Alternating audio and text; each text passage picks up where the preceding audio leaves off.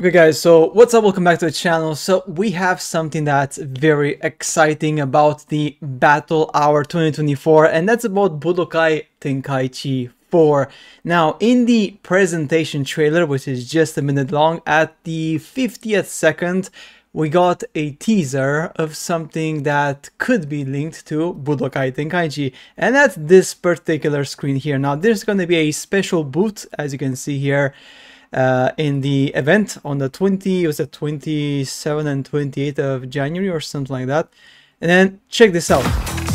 There's going to be a special Dragon Ball panel, and in the panel, they are showing a lot of things and they're even increasing the monitor with this one. This one is actually Dragon Ball Budokai Tenkaichi 1, uh, the first one on the PlayStation 2 and they're teasing this and the question is the following. Why would they suddenly put such a game in the boot which was not there last year by the way if of course they're not preparing for some teasers for the Budokai Tenkaichi 4 so they're trying to bring people back into the game and let people play that old game once more so they can remember how the Tenkaichi saga was because many people right now never played Tenkaichi especially the young guys if you're like right now, I know like uh, early 20s, maybe there's a chance you actually never played the actual first Budokai Tenkaichi. Maybe you played the second or the third, but never the first one when it all started.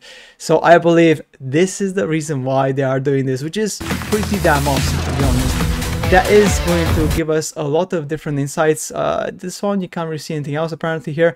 Uh, but yeah, that's uh, pretty much it. That's the whole teaser. I think it's a teaser to be honest. And Sup, uh, which one was it? I think Dragon Ball Super from Twitter also said that uh, you will be served on a silver platter some information for Budokai Tenkaichi 4 in the event. So it just makes tons of sense because the battle hour is an event which is specifically made for Dragon Ball games. Now, in the Game Awards, we may get some teaser. That's obviously we don't know that. Even if you don't get a teaser, that's absolutely fine what I'm sure about and I'm confident is that for 2024, for this event in January, we are definitely gonna eat well with the Budokai Tenkaichi. They may just release, for example, a gameplay trailer. They may release uh, some information on development because the game could be coming as early as late 2024, which is pretty awesome. Is that going to come early 2024? Unlikely that's not gonna happen but late 2024 that is a very high possibility looking at maybe october november something like that so guys i'm really hyped really excited about this and i cannot wait and of course when this happens and there's more information i shall update you guys as soon as possible uh, when we get the teaser, the trailer, we're going to analyze it on the channel.